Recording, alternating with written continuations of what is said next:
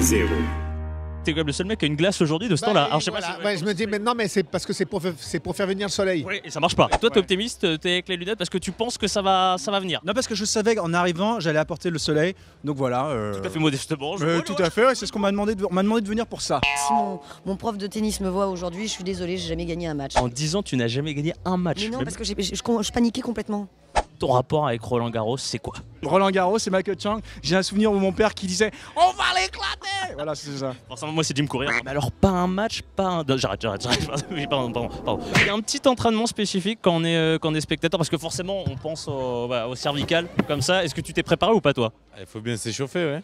Ah, donc- il y a eu échauffement. Bien sûr. Je suis assez souple au niveau des cervicales. on- on Donc se ça, prépare pas avant de venir. Voilà, je, suis- je suis- je suis encore assez mobile, je suis pas encore atteint par l'arthrose. Euh, non, moi j'ai pas besoin. En plus j'ai des problèmes au cervical, donc voilà.